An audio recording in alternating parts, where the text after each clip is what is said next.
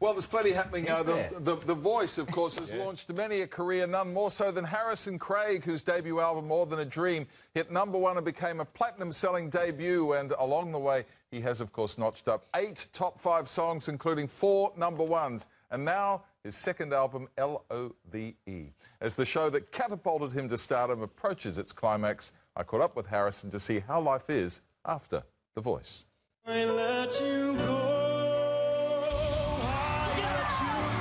He's a shining example of what's up for grabs. And the winner of The Voice 2013 is Harrison Craig.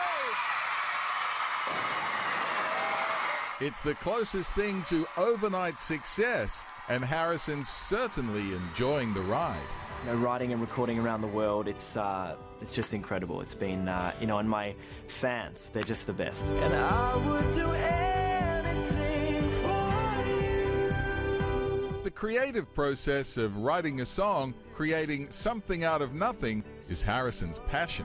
To write a great song, that's where it comes a, you know, a task that you really need to um, to just really throw your whole mind into um, and just love it. And there's a lot of L O V E in his new album dedicated to his mum.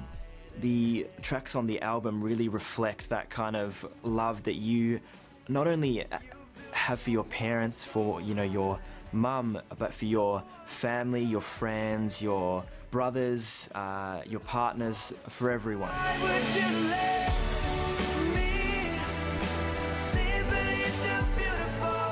On this album, he's covering some classic songs from great artists like Nat King Cole, Robbie Williams, and JPY. Love is in the air, in the rising of the sun. Songs that transcend generations. I mean, the tracks are just really some of the best. Along the way, Harrison's become an example of not letting anything hold him back, like his famous stutter. life can throw curve balls um, and you know just in my mind it's really about you and the way that you handle those And it's not something that bothers him anymore. Would you let me see beneath the beautiful tonight?